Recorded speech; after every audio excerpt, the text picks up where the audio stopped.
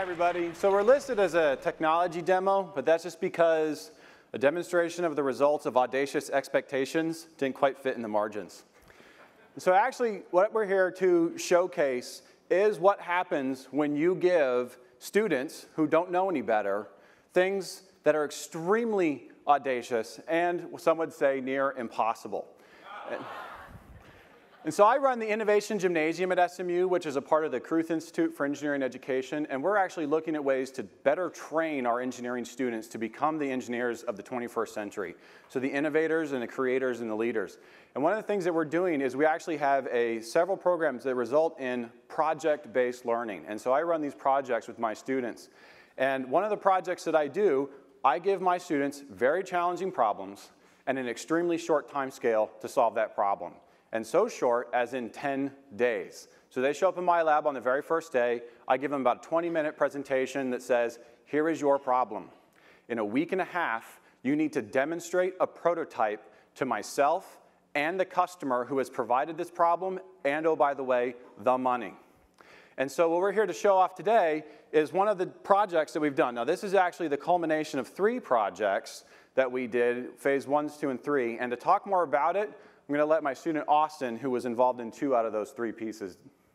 All right, as Dr. Huntoon said, my name is Austin Hodges. I am a junior at Southern Methodist University, and I'm a computer science major. I first got involved with the Innovation Gym back in my sophomore year when I was asked to work on a project where we'd be remotely controlling an unmanned aero vehicle from a cell phone. So when I first heard about this project, I was thinking this has to be impossible. And uh, there's no way that just a few undergraduates can come in and do this project in just a couple days. Well, fortunately, like you said, they decided to divide it up into four separate 10-day experiences.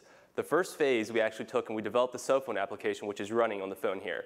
And going into this, no one had any idea how to do mobile phone development. It was first time ever seeing it, so we had to learn all there was to know about it just so we could even complete the phase. And uh, the approach we took for the application is something similar to a GPS map or something like Google Maps and stuff like that, where you pull up a map and you tap locations for it to go there. So you tap a location on the phone and the car would drive itself to that location. And uh, sorry. and uh, for the third phase of this second phase of the project, we actually developed our ground testing vehicle, which you see here.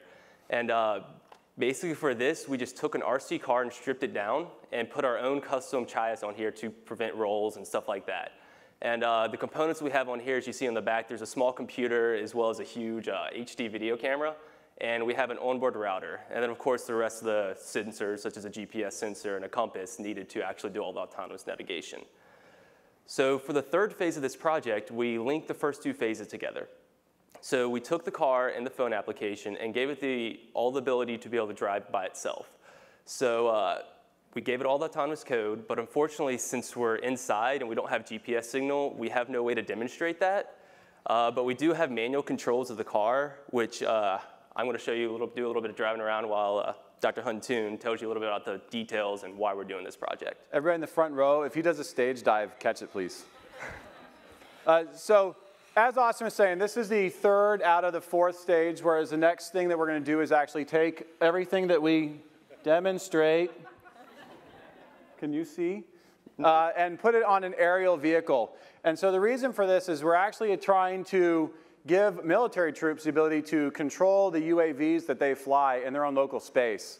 Those of you familiar right now, the military actually controls other UAVs from places like Las Vegas, which causes a huge time delay. And oftentimes that time delay is critical in the environment where their soldiers are working back and forth like in an urban combat situation where it changes so quickly. Uh, and so this is the result, like I said, of ostentatious expectations. And so the takeaway message, not only from this, but from a lot of what I think I'm doing with the students now is results are generated based on the expectations. So if you expect greatness, then you're going to get greatness. And I think Austin is a perfect example of that, as well as all the other students who I've had working for me. So thank you.